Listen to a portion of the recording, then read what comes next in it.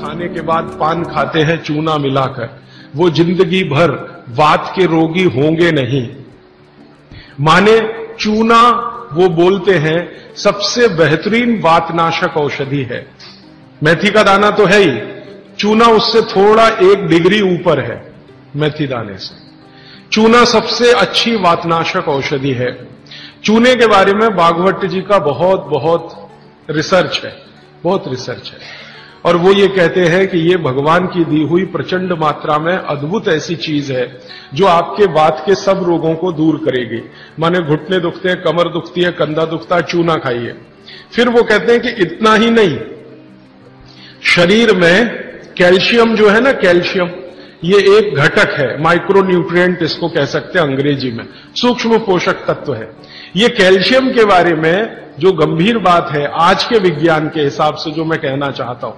भागवत जी ने तो साढ़े तीन हज़ार साल पहले कह दिया, आज का विज्ञान उसको प्रूव कर रहा है कंफर्म कर रहा है वो ये, कि कैल्शियम की कमी अगर शरीर को है तो आपको बीसियों नहीं, पचासियों बीमारियाँ आएँगी। कैल्शियम की कमी अगर है शरीर को तो पचासियों बीमारियाँ आएँगी। क्या क्या आ सकता है? हर तरह का दर्द आपको होगा, हर तरह का। मांसपेशियों का दर्द, हड्डियों का दर्द, सब तरह का। हड्डियों की जितनी विकृतियाँ हैं, वो सब कैल्शियम की कमी से आएँगे। हड्डियों के जितने रोग हैं, वो सब कैल्शियम की कमी से आएँगे। फिर वो कहते हैं कि रक्त के बहुत सारे रोग कैल्शियम की कमी से आते हैं।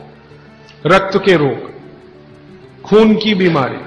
फिर वो कहते हैं कि बहुत सारे कफ के रोग कैल्शियम की कमी से आते हैं। तो कैल्शियम कम नहीं होने देना चाहिए। जो विज्ञान आज का कहता है, आधुनिक विज्ञान ये कहता है कि कैल्शियम वो माइक्रो न्यूट्रिएंट है, वो सूक्ष्म पोषक तत्व है, जिसके शरीर में रहने पर ही दूसरे सूक्ष्म पोषक तत्व उपयोगी होते हैं।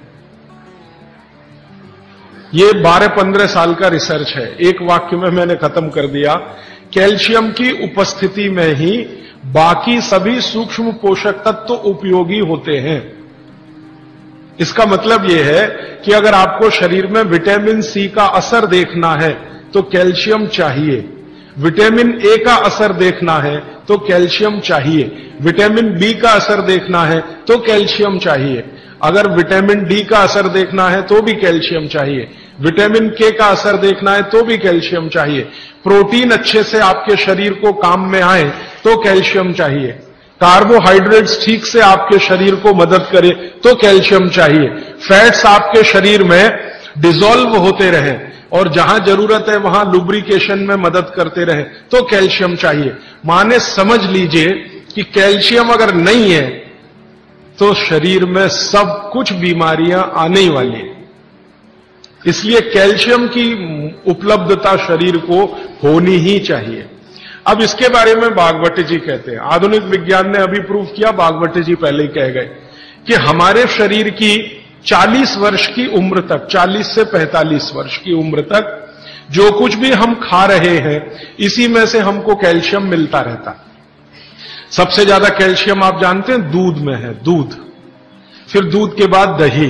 दही के बाद मट्ठा, मट्ठे के बाद मक्खन मक्खन के बाद घी। इन सब में भरपूर कैल्शियम है। फिर आपने खाया संतरा मौसमी नारंगी, अंगूर, द्राक्ष, जो भी खट्टे फल, आम वगैरह वगैरह, सब में कैल्शियम भरपूर मात्रा में है। फिर सबसे ज़्यादा कैल्शियम फलों में माना जाता केले में है। केला भरपूर खाना चाहिए क्योंकि कैल्शियम का सबसे बड़ा भंडार है और आसानी से हजम होता है। तो ऐसे जो फल हैं इनका जो कैल्शियम है, ये 40-45 साल तक हमें आसानी से मिलता रहता है। क्योंकि शरीर की जो बायोकेमिस्ट्री है 40-45 साल तक एकदम दुरुस्त और तंदुरुस्त रहती है। जठर अग्नि भी तीव्र रहती है, बाकी सब फ़ंक्शन ठीक है। लेकिन जैसे ही 45 की उम्र खत्म होती है माताओं को यह बात विशेष रूप से कह रहा हूँ, बहनों को, माताओं को। जैसे ही आपकी 45 की उम्र पूरी होती है और आपका मेंसी साइकिल बंद होता है, मासिक धर्म आपका बंद होता है, उसी समय आपको कैल्शियम हजम होना, कम होना शुरू होता है। आप कितना भी ये सब चीज़ें खाएँ, केला भी खाएँ, ये भी खाएँ, लेकिन कैल्शियम उतना पूर्ति नहीं करता, क्योंकि कैल्शियम को शरीर में डाइजेस्ट कराने वाला जो हार्मोन है, वो तभी तक आपको है जब तक आपकी मासिक चक्र की शुरुआत है। मासिक चक्र बंद होते ही ये हार्मोन कम होता है। आप जानते हैं कई हार्मोन्स कम हो जाते हैं। तो कैल्शियम डाइजेस्ट होना बहुत मुश्किल होता है। तब आपको ज़रूरत पड़ती है कि बाहर से कैल्शियम लें। इसलिए सब माताएँ इस बात को ध्यान दें और इसको गांठ बाँध लें कि 45 की उम्र होते ही चूना खाएँ, क्योंकि अतिरिक्त बाहर से कैल्शियम उसी से मिलेगा। चूना ज़रूर खाएँ, आप सबके लिए। और आपको भी है चूना खाएँ, क्योंकि आपकी उम्र भी 45 की जब पूरी होगी तो ये जो कैल्शियम है, वो आपके लिए पर्याप्त नहीं है। जो फलों से और सब्जियों से आ रहा है। कुछ अतिरिक्त चाहिए। और चूँकि बाकी सब माइक्रो न्यूट्रिएंट्स कैल्शियम की उपस्थिति में ही काम आएँगे, इसलिए इस पर ध्यान दीजिए। तो शायद इसलिए इस देश में एक परंपरा विकसित हुई है पान खाने की। ये पान खाने की परंपरा बहुत वैज्ञानिक है, बहुत ही वैज्ञानिक। जिसने भी शुरू की वो बागवट का पक्का चेला रहा होगा। बहुत समझकर उसने ये शुरू की। और ये अद्भुत है। अद्भुत मैं इसलिए कह रहा हूँ कि भारत की सब जातियों में उत्तर से दक्षिण, पूरब से पश्चिम ये परंपरा है। कहीं भी चले जाओ। आप सिक्किम में चले जाओ, अरुणाचल में चले जाओ, वो भी पान खाते हैं। और आप धुर दक्षिण में आ जाओ तो यहाँ भी है। उत्तर में चले जाओ, कहीं भी चले जाओ। तो ये पान खाना भारतीय सभ्यता का एक बहुत महत्वपूर्ण अंग है, जो स्वास्थ्य से जुड़ा हुआ है। बस ध्यान इतना ही रखिए कि पान जो है, चूने का ही खाना है। पान जो है, चूने का ही खाना है। पान कभी भी कत्थे वाला ना खाएँ, क्योंकि कत्था आपके लिए उतना उपयोगी नहीं है। कत्था स्वाद के लिए आप उपयोग करते हैं, चूना औषधि के लिए उपयोग करते हैं। ये बात मैं एक बार पहले भी कह चुका हूँ। आज फिर से इसलिए कह रहा हूँ कि कुछ नए चेहरे मैं देख रहा हूँ। तो आपके रसोई में मेथी दाना हो गया, चूना हो गया, पान हो गया, फिर पान के बाद आपको जीरा, हींग वगैरह वगैरह, अजवाइन, ये सब हो गई। ऐसी कुल 108 औषधियाँ हैं। गरीब से गरीब आदमी की रसोई में ये औषधियाँ हैं। इनका भरपूर उपयोग करिए। एक औषधि के बारे में बागवट जी कहते हैं, और भी महत्व की है, दालचीनी।